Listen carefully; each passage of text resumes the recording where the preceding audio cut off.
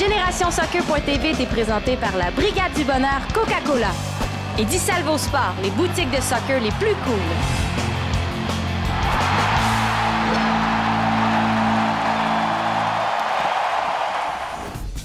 Salut tout le monde, ici Émilie Duquette. Je vous souhaite la bienvenue à cette nouvelle édition de Génération Soccer.tv sur le réseau des sports. Après avoir joué latéral droite pendant cinq ans pour le Verrières de l'Université de Sherbrooke, je suis extrêmement heureuse de prendre les commandes du premier magazine 100% soccer pour les ados au pays. Je t'invite à nous suivre car cette année, l'émission sera plus géniale que jamais. Tu en apprendras davantage sur les joueurs de l'Impact de Montréal en plus de rencontrer les jeunes footballeurs les plus talentueux au Québec. Grande nouveauté cette année, un entraînement par semaine, toujours dans une région différente du Québec. Non seulement nous continuerons de t'informer sur les dernières tendances mode de l'industrie du soccer, mais en primeur, la Brigade du Bonheur Coca-Cola te présentera les meilleures freestylers au Québec. Je te propose de donner le coup d'envoi de cette nouvelle saison avec le topo Vite Pro mettant en vedette Maxime Crépeau de l'Impact de Montréal.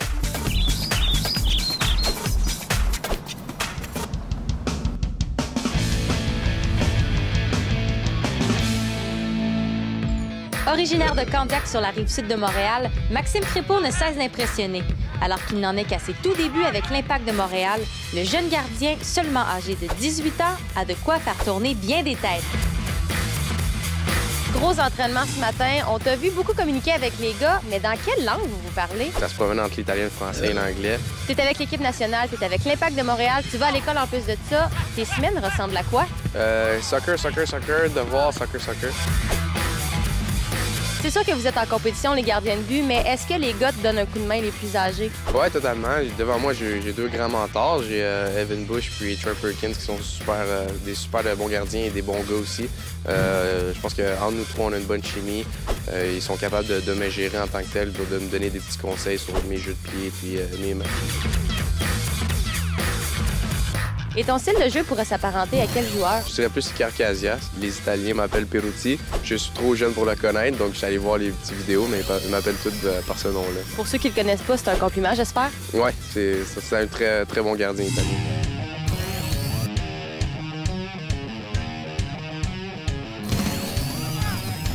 Est-ce que tu es superstitieux? Oui, c'est que je mets toujours, toujours, toujours mon gant droit avant mon gant gauche.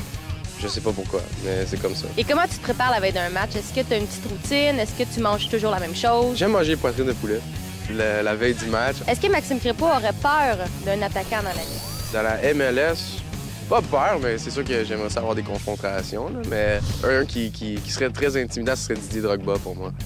Et pourquoi ce joueur-là plus qu'un autre? Euh, ben, Didier il, est tellement euh, intimidant physiquement. Son nom verbal est, fort aussi. Euh, tu le regardes, puis il fait vraiment un peu peur.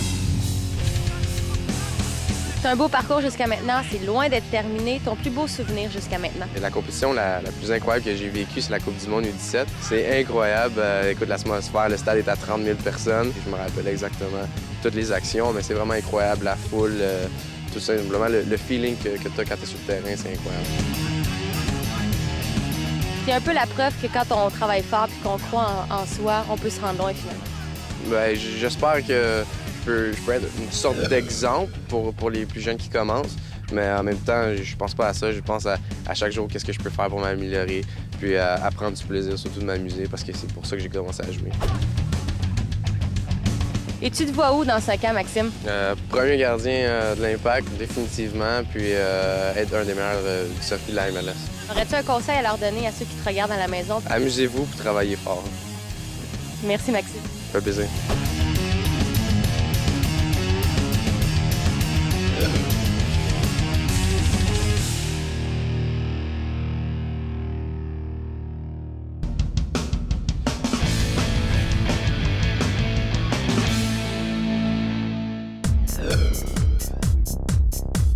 Cette semaine, je rencontre André-Cédric Zibi, un joueur hyper talentueux de l'Académie de l'Impact de Montréal. Rapide, intense et discipliné, André-Cédric sera certainement à surveiller dans les prochaines années. André-Cédric, grosse nouvelle, tu viens d'avoir un appel de l'équipe nationale. Tu t'en vas en Italie prochainement. Est-ce que tu t'en attendais? C'était comme une surprise, mais là, je suis très, très content de représenter mon pays en fait. Là, je suis vraiment très, très excité de partir en Italie. Et vous allez faire quoi là-bas? Certainement pas du magasinage. Euh, non, non, non. Je pense qu'on va jouer 3 à 4 matchs. C'est des matchs amicaux pour nous préparer en fait pour la Coupe du Monde euh, dans quelques années de mon âge moins de 17 ans. Simon, c'est toi qui entraînes André Cédric. Quel type de joueur on a à faire? André, c'est un, joueur physiquement qui est très très bon. Euh, très très puissant, et très rapide dans son jeu. Et c'est un joueur qui dans l'attitude, est exemplaire. Exemplaire. Chaque entraînement, c'est du, du, sérieux et je, je sais que ce que je, je vais avoir chaque fois qu'il vient sur le terrain parce qu'il donne beaucoup, il donne son 100% on t'a vu pratiquer, t'es hyper intense. Quelle position joues-tu d'ailleurs? Je joue en défenseur droit, donc je participe à l'attaque puis à la défense aussi. Et est-ce qu'il y a un joueur auquel tu t'associes qui jouerait la même position que la tienne? Michael Essien, parce que maintenant il est avec le Real de Madrid. Et il joue en défense droit, donc je m'associe un peu à ce joueur-là. Et en dehors des entraînements avec l'académie, parce que bon, vous entraînez pratiquement tous les jours, je crois, qu'est-ce que tu fais euh, de ton côté pour vraiment le travailler spécifique à ta position? De toucher le ballon le plus possible dans ma maison, chez moi. Tes parents doivent aimer ça? Euh, des fois oui, puis des fois non, parce que des fois c'est un peu bruyant dans la maison.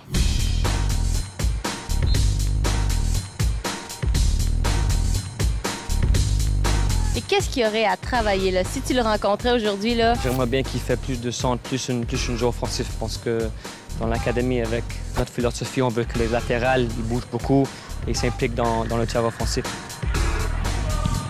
Qu'est-ce qu'il y a d'autre à travailler là, de ton côté? Dans l'aspect tactique du jeu, ben, un joueur pro est meilleur. Puis aussi dans, dans son mental, en fait. C'est deux choses principales que j'ai à travailler. Il veut progresser. Il est très sérieux.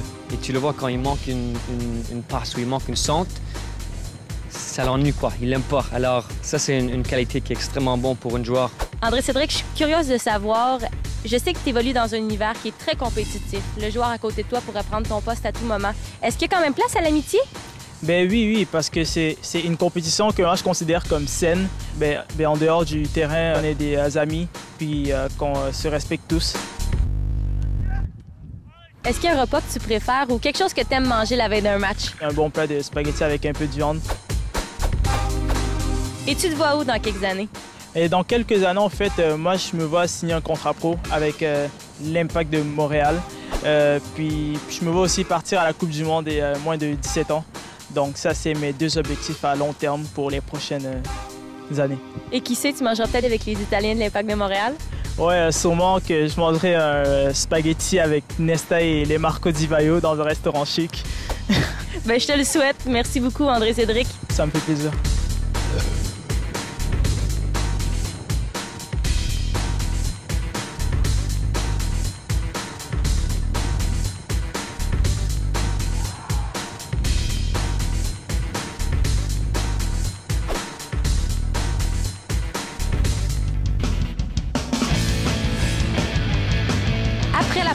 La toute première édition d'Expo Soccer Montréal.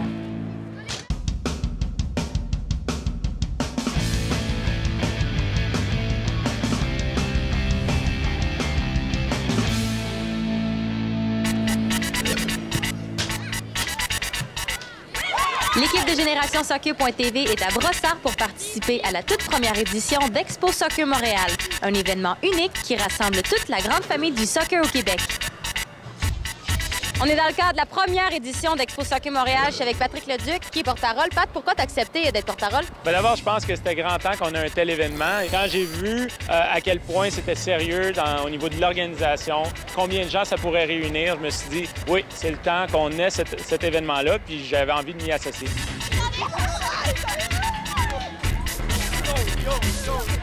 Qu'est-ce qu'il y a à faire pour les jeunes? Je pense qu'il y en a pour tous les goûts. On peut tester la précision de nos tirs, la puissance de nos tirs. On peut faire un tournoi à deux contre deux dans une cage. C'est assez spécial. On joue avec les bandes. On peut aussi jouer au billard soccer. Ça, j'ai découvert ça ici. Puis bon, écoute, j'en oublie. En plus, ça, c'est à part toutes les animations qui ont lieu pendant la fin de semaine.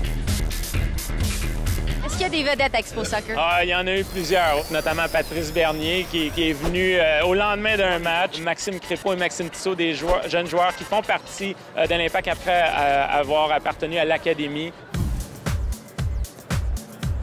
Quand tu étais petit, si tu avais eu un événement comme ça, qu'est-ce que ça aurait représenté pour toi? Ah, c'est sûr, je serais venu parce que j'aurais probablement découvert certaines affaires que j'ai découvert plus tard en étant un professionnel. Des choses au niveau de la nutrition, de la physiothérapie qui peuvent t'aider à, à, t'emmener au plus haut niveau. Puis surtout, il y a, des, petits, il y a des, la cage de jeu. Je suis sûr que j'aurais été où il y a le ballon pour essayer de jouer avec des amis, faire les compétitions. Selon toi, il faut que ça reste, hein? Oui, j'espère que c'est quelque chose qui peut devenir annuel. Ce serait bien, c'est bien. Puis le soccer continue à grandir. Puis il y a beaucoup de choses encore à apprendre du soccer. Euh, et puis, euh, il y a eu un match de bumper ball, hein, euh, des autotamponneuses. Bonjour, tu roules. Là, t'arrives comme ça. Tu roules. Là, tourne-toi. Et là, on comme ça. On a joué avec des joueurs des Alouettes, Luc Brodeur-Jourdain et Steve Charbonneau, Isabelle Charret aussi.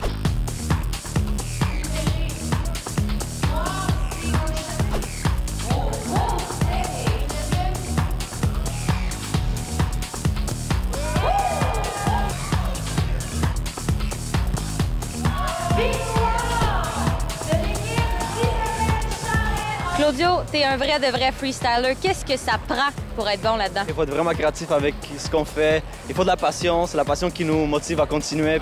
Être bon freestyler, ça veut pas dire qu'on est un bon joueur de soccer et l'inverse aussi. Comparer le soccer avec le freestyle, c'est comme comparer le hockey avec les figures sur, le, sur la glace avec les, patins. Là. Patinage artistique, exactement. On t'avait l'an passé à Génération Soccer.tv. On va, on va regarder encore ce que tu peux faire. Ouais, pas de problème. Je vais faire une démonstration.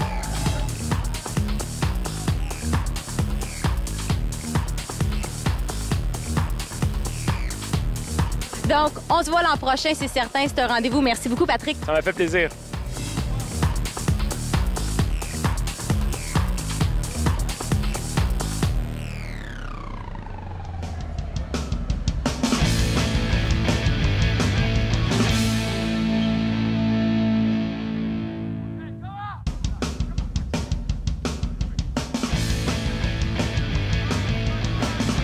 L'entraînement de la semaine est présenté par Kinatex Sport Physio.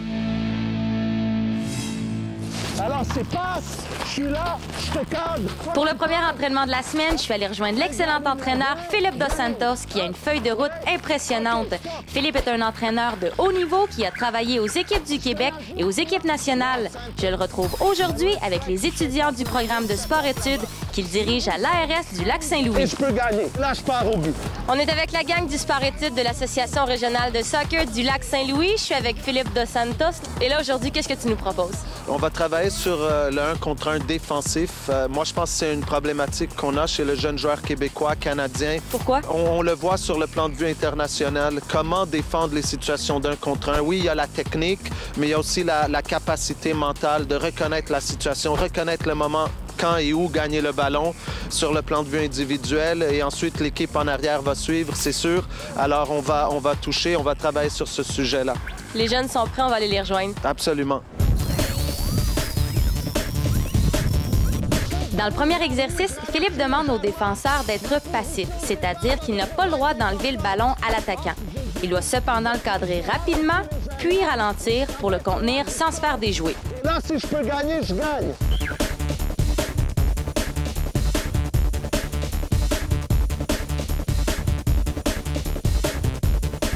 Ça joue, ça joue, ça joue. En position, ça donne rien, ça donne rien, reste avec lui.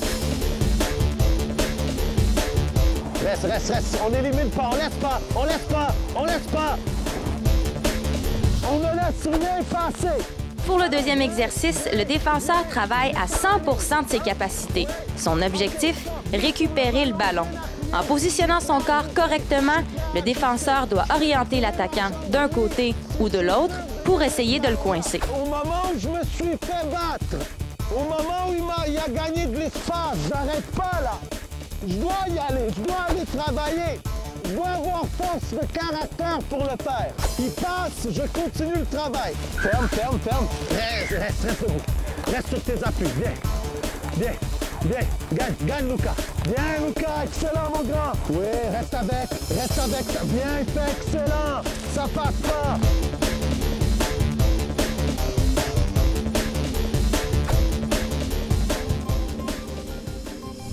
Ici, Philippe propose un exercice qui se rapproche petit à petit d'une situation de jeu. Il rappelle aux défenseurs l'importance d'être patient et surtout de choisir le bon moment pour resserrer l'espace qui le sépare de l'attaquant. Je m'assure que je suis bien. Hop, si lui, si je peux gagner, je gagne, mais je le laisse pas tourner. Tel Mika. Oui, ça arrive excellent, mon grand. Reste debout, pas de problème. Eh, c'est ça.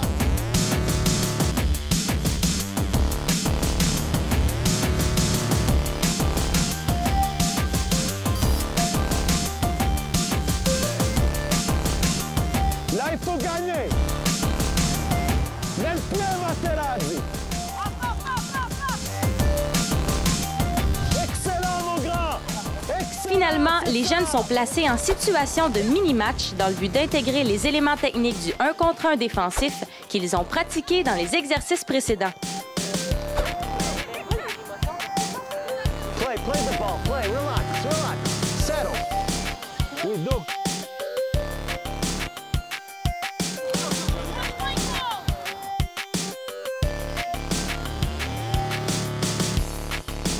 Les élèves du sport-études de l'ARS du lac Saint-Louis ont tellement aimé la présence de l'équipe de Génération Soccer.tv qu'ils ont voulu nous en donner encore plus. On a eu droit à un petit numéro de freestyle et même à un extrait du Gangnam Style, nouvelle version de Jacob, un des gardiens de but.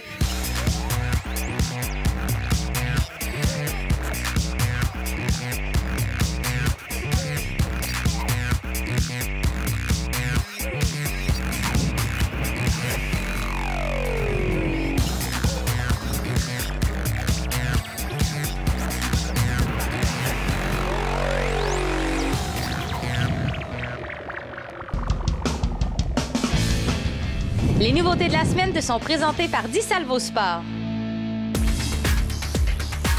Comment dénicher la meilleure paire de crampons, mais surtout la plus confo? Heureusement que la gang de Dissalvo Sport est là pour bien nous conseiller. Je suis chez Dissalvo Sport pour les nouveautés de la semaine en compagnie de Charles qui nous présente deux super produits de Diadora qui sont pas encore sur le marché. On a une exclusivité là. Effectivement, des souliers qui vont sortir au courant du mois de juillet.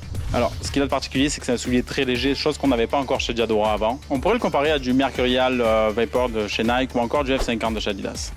La membrane extérieure est faite d'une couture, donc on va avoir un soulier qui va être plus étroit, plus resserré. Moi, je- franchement, j'avais jamais vu ça. Qu'est-ce que c'est cette espèce de particule dorée là, argentée? Alors, effectivement, on va voir ici une euh, semelle en microfibre, une semelle qui est faite pour respirer, donc qui va dégager la chaleur du pied et en même temps imperméable. Donc, tout ce qui est haut va pas rentrer par la semelle. Et si je me trompe pas, Geox, qui est un géant de la chaussure haut de gamme, a acheté Diadora et c'est une technologie qu'ils ont travaillé ensemble? Alors, c'est une technologie qui appartenait déjà à Geox. Geox était connu pour ses souliers respirants. Donc, euh, ils l'ont apporté effectivement à des souliers de sport. Les crampons semblent un peu moins hauts que ce qu'on voit d'habitude, moins longs. Donc, on garde la stabilité quand même. On va avoir un soulier qui va quand même accrocher le sol, mais euh, moins de risque de blessure. Notamment aussi avec les petits crampons ronds devant qu'on peut voir. Donc, au niveau du pivot, vont permettre au pied de tourner et donc avoir moins de chances de se blesser. Si on enchaîne avec celui-là. Ici, on va avoir un deuxième soulier, un soulier qui est fait tout en cuir de kangourou. Donc, une seule couche de cuir. Un soulier qui va nous amener plus proche du ballon, donc euh, moins d'épaisseur entre le pied et le ballon. Donc, un toucher de balle qui va être un peu amélioré. Et les joueurs qui adorent dribbler ballon-pied, c'est une chaussure qu'on pourrait lui recommander. C'est une chaussure que je lui recommanderais, effectivement. Il y a un toucher de balle qui va être amélioré, le fait d'avoir moins d'épaisseur entre le pied et le, et le ballon. Est-ce qu'on retrouve la même chose au niveau de la semelle dans ce produit-là? On va retrouver la même semelle. Là, on peut le voir sur l'intégralité de la chaussure. Donc, une semelle totalement respirante. Comme je vous disais, l'eau ne rentre pas. Moi, ce, que, ce qui me frappe le plus, c'est vraiment les couleurs. C'est pas quelque chose qu'on est habitué de voir chez Diadora. Effectivement, Diadora, c'est un peu rajeuni dans le, dans le système des couleurs. Donc, a mis apporter du bleu, du vert, du rouge, qui va donner un ton un peu plus jeune à la main. Ton avis d'expert, Charles, est-ce que ce sera un gros vendeur? Je pense que cet été, ça va être un gros vendeur. Merci beaucoup. Merci à vous.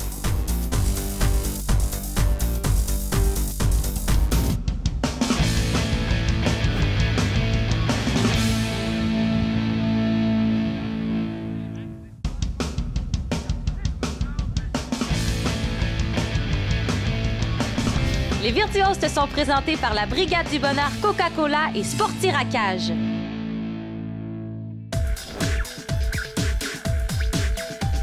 Salut la gang, je suis au Sportiracage à Anjou avec la Brigade du Bonheur Coca-Cola qui sera avec nous toute la saison. Et aujourd'hui, on vous annonce quelque chose de gros. Quelque chose de gros, oui. En fait, on organise un méga défi en partenariat avec Sportiracage et on cherche les meilleurs freestylers au Québec qui seront présentés à GénérationSoccer.tv.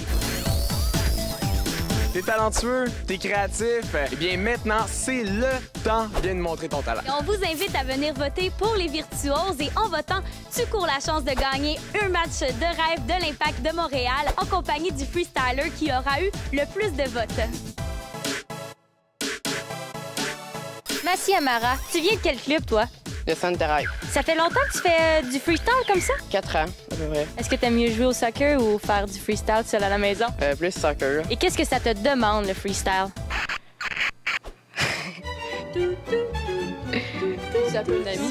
Et quand tu joues, est-ce que tu viens intégrer ces mouvements-là que tu pratiques? Euh, oui, des fois. Puis est-ce que tu impressionnes l'adversaire? ouais. Et pourquoi tu tenais à être virtuose de Génération Soccer? Pour euh, montrer ma passion et être plus connu. Et ta démonstration, comment tu l'as appelée? Merci Ronaldo. Pourquoi? Parce que j'aime Ronaldo. Est-ce que tu es aussi bon que lui? Ah, on peut dire ça. Oh! Bon, ben, on regarde ce que tu sais faire. OK. Deux.